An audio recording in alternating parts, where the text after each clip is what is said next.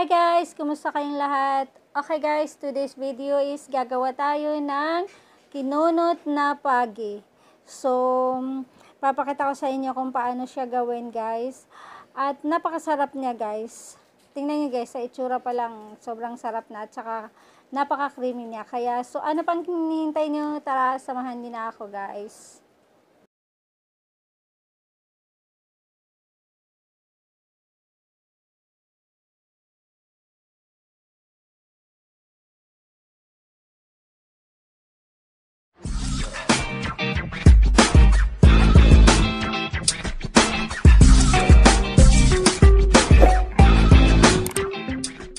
Okay guys, ito na yung ating lulutuin, ang ating pagi. So, maliit lang siya guys. Ayan. Anong luto gagawin natin? Kinunot na pagi. Kinunot na pagi. Yes, ayan. Ayan siya guys. So, oh, para siyang ano, butterfly.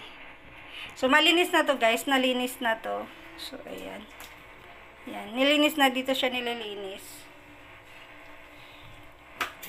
So, hihiwain natin siya maliliit. Tapos, papakuluan natin siya. Okay, let's go.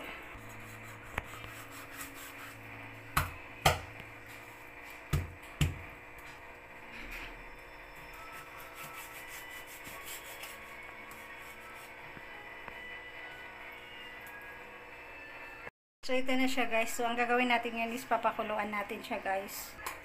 So, ayan, guys.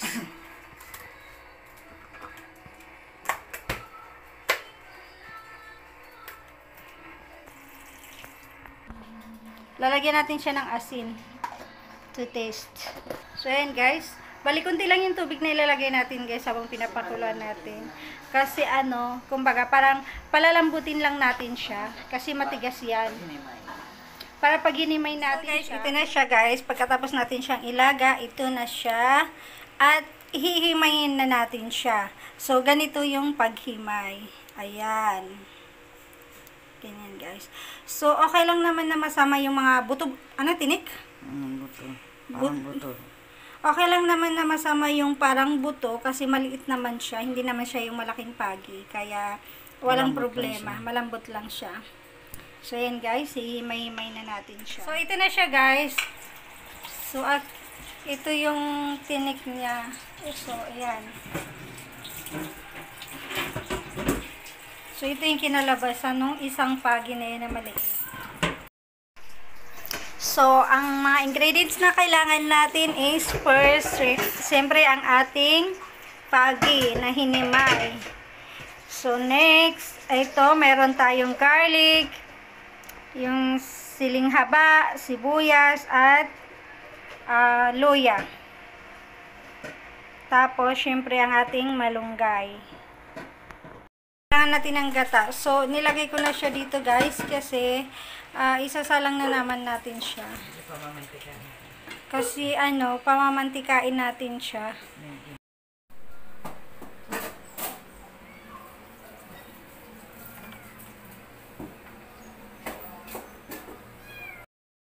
So, ito na siya guys. Nakasalang na yung ating gata. Um, medyo pamamantikain natin siya. Kaya medyo matagal siyang, ano, eh, medyo matagal natin siyang lulutuin. Kailangan kasi yung gata magmantika siya. Ng, hindi naman siya as in mantika. Yung kahit na konti lang. So, yan guys. So, kailangan halu-haluin natin siya. Yan. Para hindi mabuo, mamuumuo yung gata. So, kailangan siya, ah, mix-mix lang natin siya. Huwag natin siyang hahayaan guys, na iwanan. So, flex ko lang yung alaga kong pusa. Naghihintay ng ulam. Hmm, ano, Ayan guys, so, kumukulo na siya as in kumukulo na. So yan, ilagay natin yung ating mga ingredients. Una natin ilagay is yung luya. So sabay-sabay na natin siyang ibubuhos guys, yung apat na ingredients natin. Oh, mix, mix, mix. Pahinaan lang natin yung apoy natin. Ayan, mix-mix lang natin guys. Ayan, lagyan natin ng asin.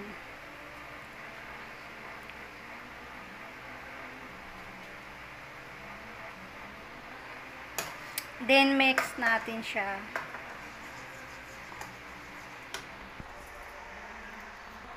Lagyan natin ng bitchin. Ayan, guys. So, ayan guys, i-mix-mix lang natin siya guys. Kasi para, ano, para mamuo, eh, para hindi siya mamuo. Tapos, kapag kumulo na siya at ganyan, nakikita natin kulong-kulo na talaga siya at medyo sticky na siya, ilagay na natin yung ating pagi. Ayan guys. So, ilalagay natin yung pagi guys kapag nakita na natin yung gata na um, medyo nagmantika na siya. Saka natin ilalagay yung ating pagi. Tapos, inix na natin ilagay yung ating malunggay. Yes, guys, yung malunggay. Ang masustansyang gulay. So, shout out nga pala sa mga mahilig dyan sa malunggay. Hello sa inyo. Ayan, guys. So, mix lang natin. Guys, mix-mix lang. Ako.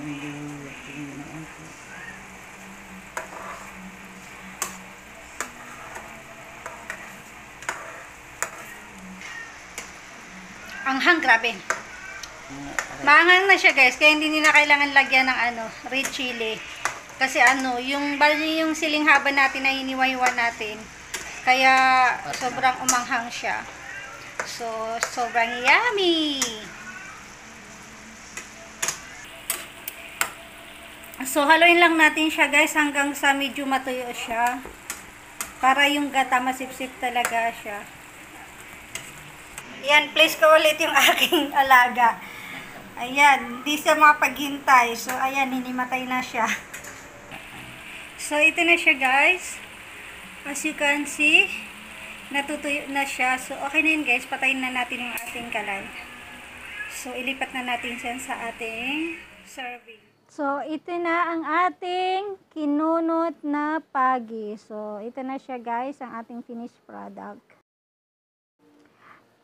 Mukhang masarap siya guys at saka tingnan niyo naman siya oh napaka-creamy niya guys.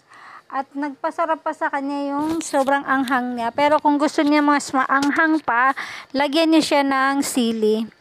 Tapos, pero for me kasi okay na yung anghang niya dun sa siling haba na nilagay ko. So, I hope na sana matry niyo din siya guys. So, hindi kayo magsisi, siguradong magugustuhan niyo talaga siya kasi ang sarap niya. So guys, titikman na natin siya guys kung anong lasa. So sira na naman yung ating diet ngayon.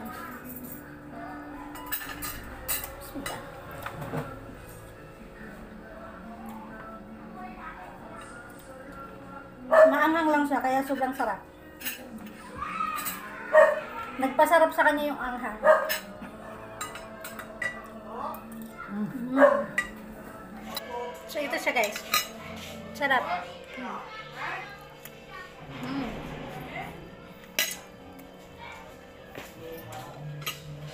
Kataw.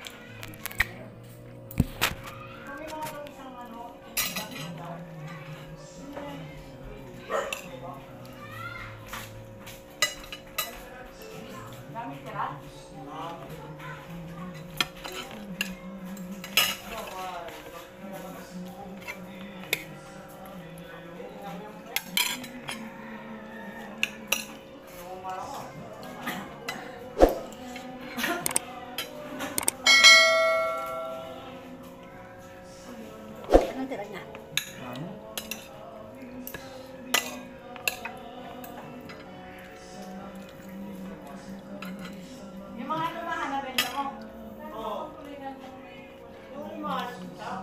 Okay guys, maraming maraming salamat sa lahat ng mga nanood at saka kung hindi ka pa nakakapag-subscribe sa akin, please subscribe to my YouTube channel, Junay channel, at click mo na rin yung tiny bell para updated ka sa mga bago kong video. Okay guys, so thank you very much guys. So sana matry niyo din guys kasi napakasarap niya guys.